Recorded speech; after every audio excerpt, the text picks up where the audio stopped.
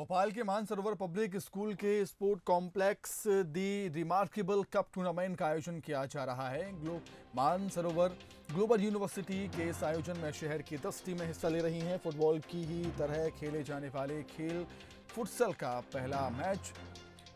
रिनेगेट्स, FC first और ग्लेडिडर्स FC के बीच खेला गया। इस अवसर पर मानसरोवर ग्रुप के प्रोफेसर चांसलर गौरव तिवारी और मानसरोवर ग्लोबल यूनिवर्सिटी के वाइस चांसलर अरुण कुमार पांडे मौजूद रहे।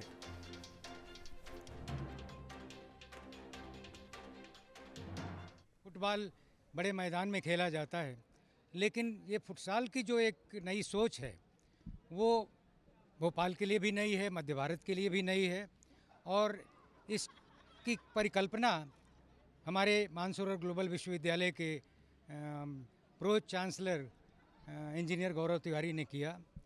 और, इसकी स्थापना के साथ ही यहाँ के युवा जितने भी खिलाड़ी हैं, वो इस तरफ़ आकर्षित हुए।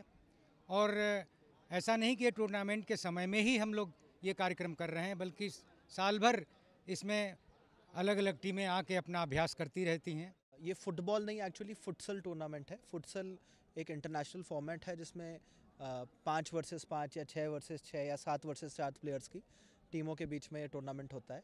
ये सेवन वर्सेस सेवन का टूर्नामेंट है। इसमें दस टीमों ने भोपाल पार्टिसिपेट किया है। सोलह से लेके तीस साल तक के प्लेयर्स इस टूर्नामेंट में पार्टिसिपेट कर रहे हैं। दस टीमें हैं और इक्यावन हज़ार रुपये की मानसरोवर ग्लोबल यूनिवर्सिटी की तरफ़ से इस टूर्नामेंट के विनर को प्राइज़ मनी रखी गई है। हम उम्मीद करते हैं कि इस टूर्नामेंट के माध्यम से हम फुटबॉल को हेल्दी लाइफस्टाइल को और एक सकारात्मक ऊर्जा को प्रमोट कर पाएँगे।